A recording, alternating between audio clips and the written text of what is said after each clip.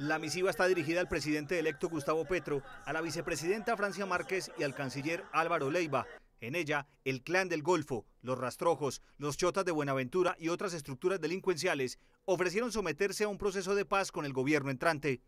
Estamos dispuestas a coordinar un cese al fuego contra la institucionalidad a partir del 7 de agosto de 2022. Estamos dispuestos a desarmarnos en el momento indicado. Estamos dispuestos a pedir perdón. Estamos dispuestos a aportar verdad total e integral. Estamos dispuestos a reparar y sobre todo a no repetir los actos criminales. Estamos dispuestos a cumplir con los fines de la justicia restaurativa. Estamos dispuestos a unirnos con las instituciones para proteger el medio ambiente contra las prácticas ilegales que lo deterioran enormemente.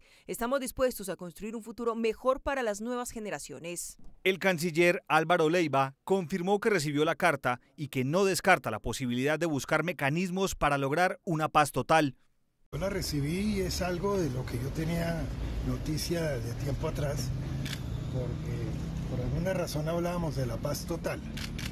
Y es eh, uno de los cometidos, uno de los propósitos, y precisamente es lo que vamos a, a iniciar con muchos y a continuar con otros.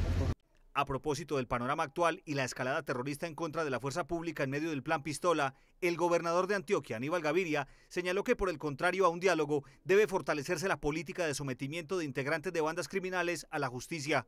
Que la acción del Estado los lleve ante la justicia para que respondan por los eh, hechos cometidos contra los antioqueños, contra los colombianos y ahora específicamente contra nuestra fuerza pública.